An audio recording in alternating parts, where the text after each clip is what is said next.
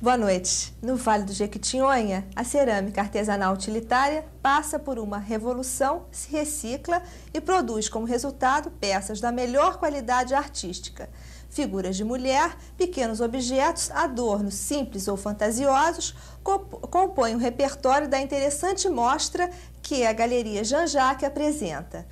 Boa noite, Jean, tudo bem? Boa noite, tudo bem. Bom, a cerâmica do Vale do Jequitinhonha é passada de geração para geração, né? A Codevale modificou esse aspecto?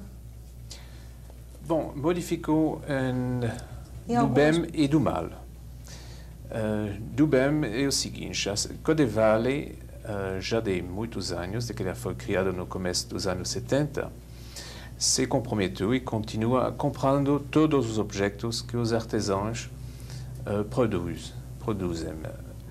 Do lado mal, a Codevale, ultimamente, tem dado algumas direções aos artesãos, que resultou em uma certa massificação de certos objetos que uh, tinham algum sucesso comercial.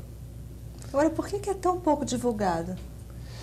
Na verdade, é ainda um artesanato muito regional, que é razoavelmente bem, uh, bem divulgado em Belo Horizonte, que já tem um certo lugar nas melhores lojas de artesanatos em uh, São Paulo, mas cujo beleza, cuja beleza e cuja criatividade eu acho que tem que ser mostrado atualmente em galeria de arte.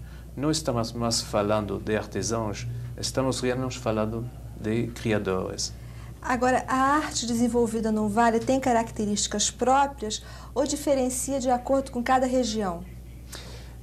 Através de várias viagens, uh, esses cinco anos, em quase a totalidade do Vale, eu anotei realmente que temos uma certa diversificação no sentido uh, do, do gênero, do tipo de cerâmica produzido.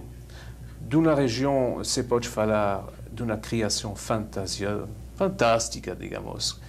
Uh, certas esculturas são quase do gênero surrealista. Em outras regiões, estamos realmente uh, num, num figurativo muito mais naturalista, um figurativo muito mais perto uh, do natural mesmo, mas feito com uh, realmente uma precisão maravilhosa. Agora, já no momento que a arte passa de utilitária para adorno, sofre alguma descaracterização? Bem, no caso do Vale, a, pass a passagem do uh, utilitário ao artístico foi muito gradual. E nos primeiros anos da criação dessas famosas moringas mulheres, essas belas estátuas atuais, se podia até notar que a forma é ainda de um vaso, de um pote. Através dos anos, eles perdem essas características próprias do utilitário. Para dar mais um exemplo, as últimas moringas provendo do, do vale estão com a cabeça uh, desligadas do tronco, que faz lembrar realmente a, o, o, o a parte superior de um vaso. Eh, agora, nas moringas atuais, as cabeças já são ligadas ao corpo e perde realmente esse aspecto utilitário. Quantos trabalhos e quantos artistas você apresenta nessa tua exposição?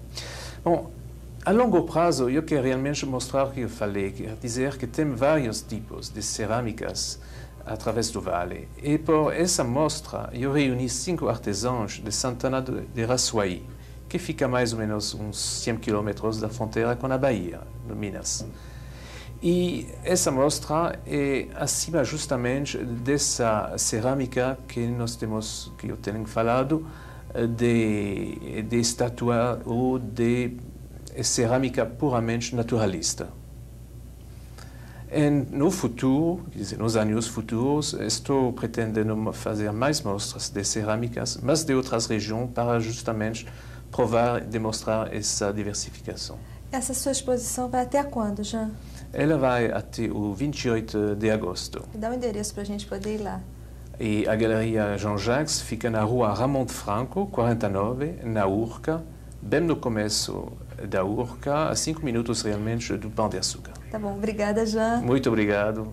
Boa noite, obrigada. E assistam a seguir o Informe Econômico com Nelson Priori.